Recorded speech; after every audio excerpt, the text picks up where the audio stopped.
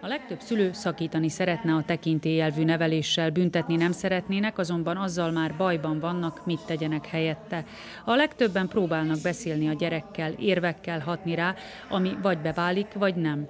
A pozitív gyermeknevelés olyan módszereket foglal magában, amelyek a gyermek önbizalmára, érzelmi fejlődésére is pozitív hatással vannak, mondta a szakember.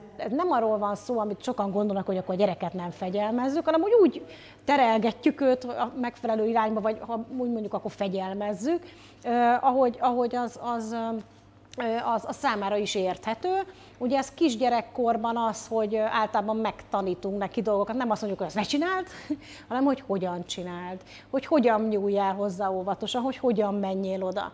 Aztán ugye kiskorban, ami még gond, hogy ugye nem tudja az érzelmeit kezelni, dükkitörése van, hisztizik, tehát megtanítjuk kezelni az érzelmeit. Melyik érzelem, micsoda, mit csinálunk vele, és újra meg újra elmondjuk meséken keresztül, játékokon keresztül, a saját jó példánkon keresztül, mert úgyis tőlünk tanulja meg a legtöbbet.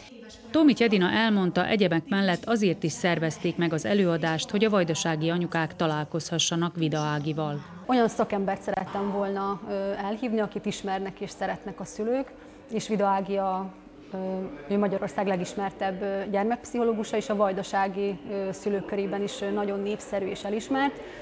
Ő közérthetően szól a, a szülőkhöz olyan témákban, amik a sokukat érintenek a gyermeknevelés kapcsán. Az előadás után a szülők kérdéseket tehettek fel a szakembernek.